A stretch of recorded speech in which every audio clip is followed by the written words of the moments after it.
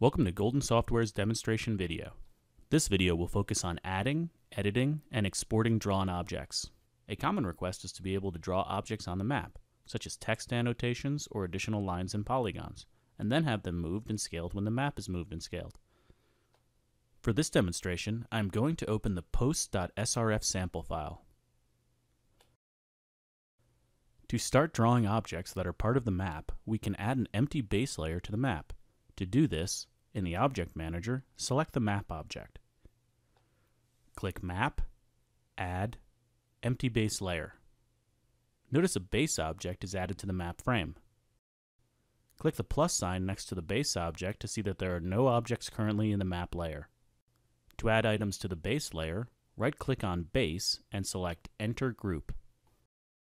We are now in the base layer group.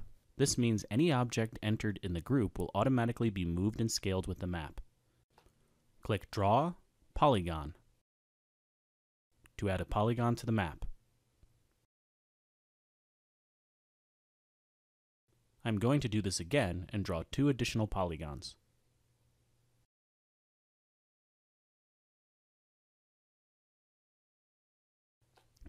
Now that I am done drawing in the map, I will click Arrange, Exit Group to exit out of the base map object.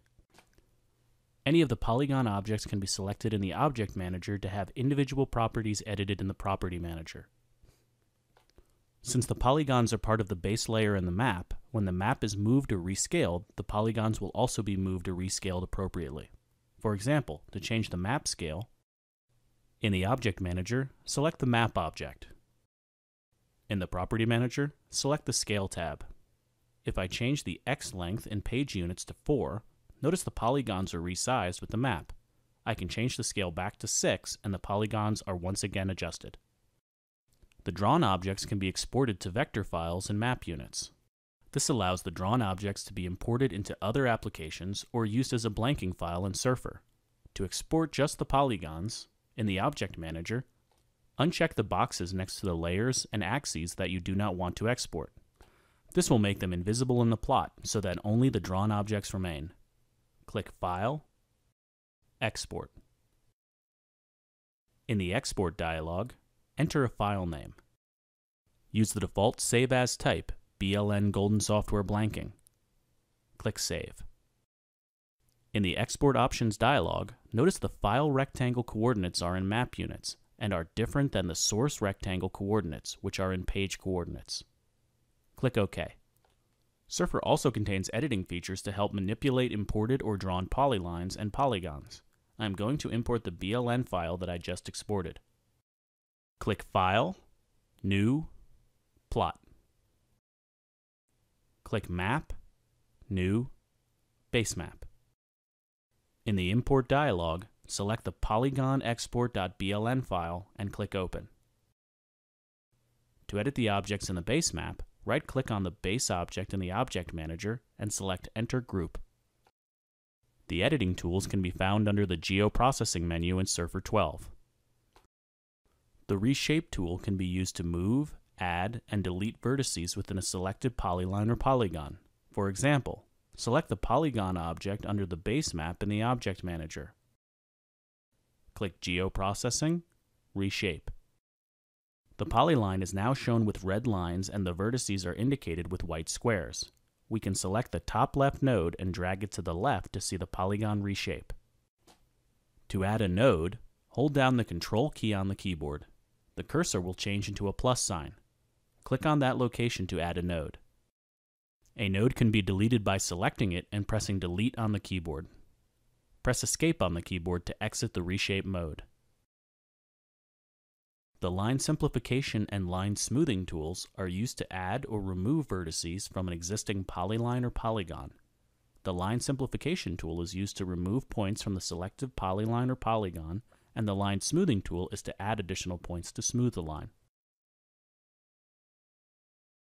The polyline to polygon and polygon to polyline are useful commands to convert an existing drawn object into another format.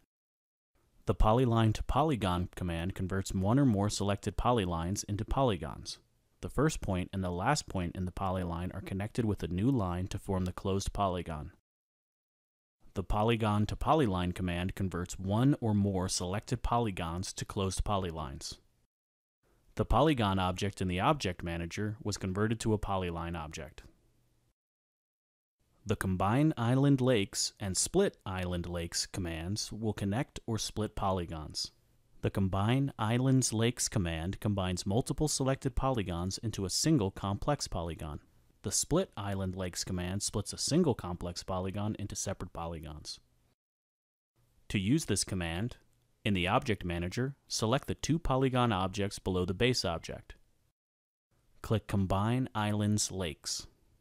Notice the two polygon objects were combined into a single polygon object in the Object Manager.